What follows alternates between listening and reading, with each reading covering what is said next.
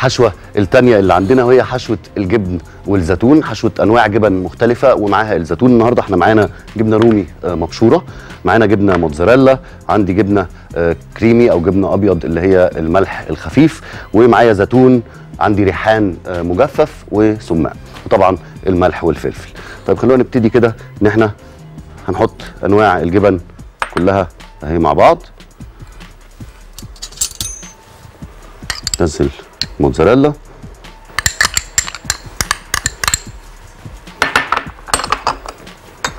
جبنة الكريمي. الزيتون.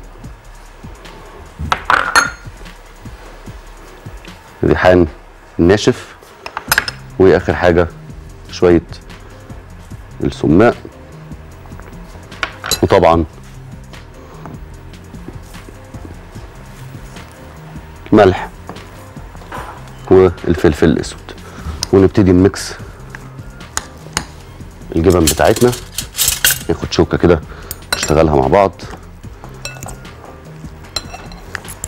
تاخد بس سنة شغل كده عشان الجبنة الكريمي لو هي مش درجة حرارة الغرفة بتبقى محتاجة بس شوية شغل وانت بتقلبها.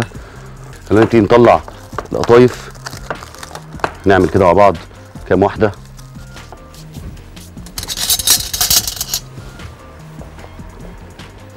نبتدي بالجبن زي ما إحنا متعودين القطايف هنحط معلقة صغيرة قوي في النص